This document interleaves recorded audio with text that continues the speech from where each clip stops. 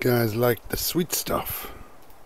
Ah, happy to be back. Oh yeah, he's happy to be back.